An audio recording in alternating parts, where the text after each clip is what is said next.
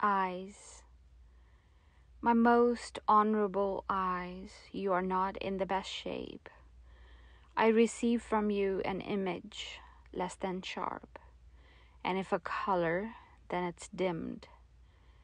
And you were a pack of royal hounds with whom I would set forth in the early morning.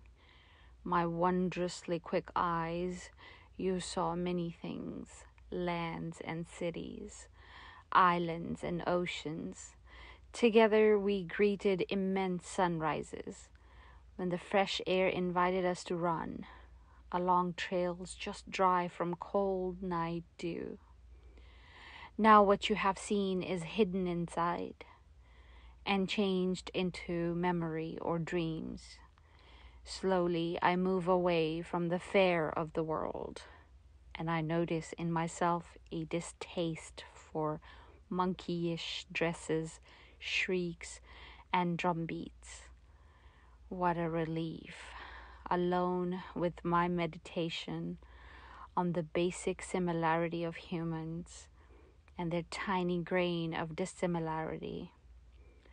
Without eyes, my gaze is fixed on one bright point that grows large and takes me in.